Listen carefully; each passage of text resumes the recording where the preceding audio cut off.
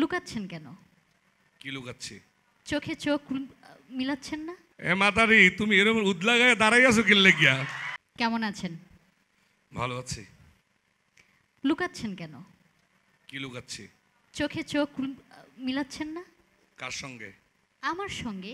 আমার তো বউ আছে। যাই হোক আপনার কি জামাই আছে? খুঁজছি। মনির খান শিমুল ফ্রি আছে।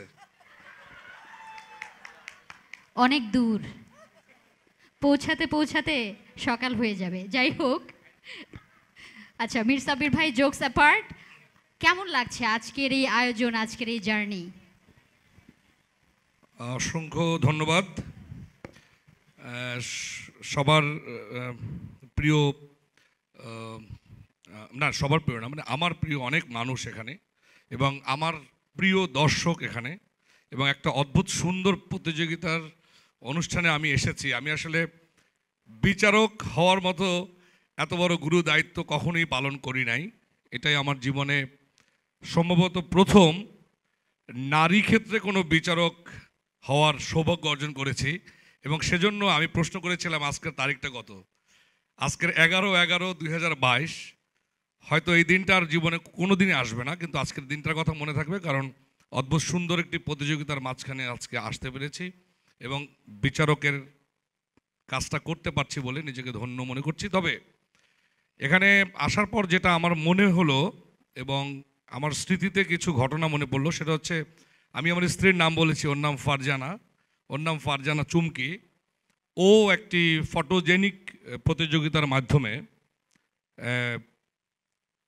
বিজয় হয়েছিল। লাক্স আনন্দধারা ফটোজেনিক প্রতিযোগিতা ছিল নাইনটিন নাইনটি এইটে। এবং তখন সে অনেক লুকিয়ে লুকিয়ে এই প্রতিযোগিতা অংশগ্রহণ করেছিল, তখন আমার সঙ্গে তার বিয়ে হয়নি। আমি প্রেমিক হিসাবেই তখন তাকে বলেছিলাম, তুমি এটা করো।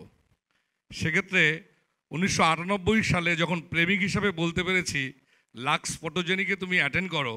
আজকে যারা এখানে স্ত্রীদের নিয়ে এসেছেন আমি তাদেরকে দেখে বলছি যে আপনারাও আপনাদের স্ত্রীদেরকে অবশ্যই সামনের দিকে এগিয়ে যাওয়ার জন্য নানা রকমভাবে সহযোগিতা করবেন। তাহলে ঘর এবং বাহির দু জায়গাতেই নারীরা সমানভাবে এগিয়ে যেতে পারবে।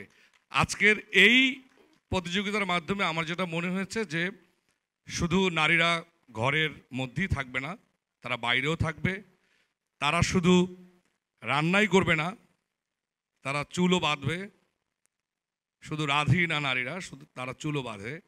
এবং আমি চাই যে এই ধরনের প্রতিযোগিতার মাধ্যমে আমাদের দেশের নারীরা আরও উন্নতির চরম শিখরে যাবে, কারণ আমাদের দেশের প্রধানমন্ত্রী নারী, তিনি অনেক নারীদের জন্য নানান কিছু করছেন। সো সব কিছু মিলে আজকের অনুষ্ঠানে এসে আমার খুবই ভালো লাগছে এবং আমি যাদের পাশে বসেছি, তারা সবাই গুণী মানুষ। আমি অত্যন্ত সাধারণ একজন, আমাদের সীমা ভাবি। আপনাকে অসংখ্য ধন্যবাদ। এত সুন্দর একটি প্রতিযোগিতার মাঝে আপনি নিজেকে জড়িয়ে রেখেছেন এবং আপনি নানান রকম কাজের সঙ্গে যুক্ত আছেন আমরা জানি। এবং সেজন্য আমার তরফ থেকে সকল দর্শকদের একসঙ্গে নিয়ে আমরা হাততালি দিয়ে তাকে সাধুবাদ জানাই। কারণ সব এখনও কিন্তু শীত শুরু হয় নাই, কিন্তু আপনাদের হাত চলছে না।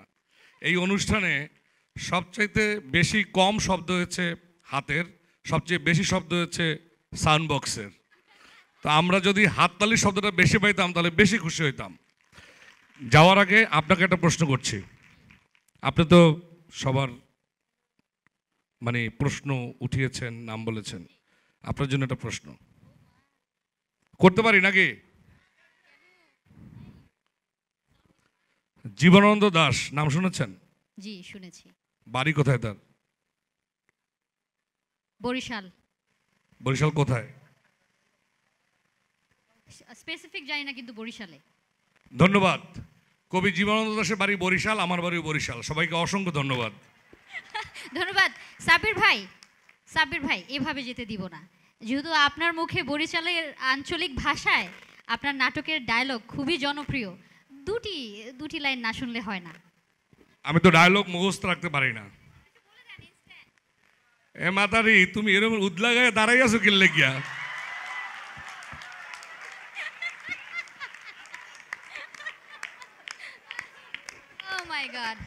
থ্যাংক ইউ সো মাচ ধন্যবাদ।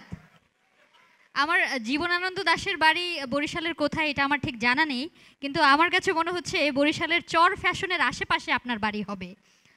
ফ্যাশনটা বুঝতে পারছেন না। এটাই ফ্যাশন, এটাই ট্রেন্ডি।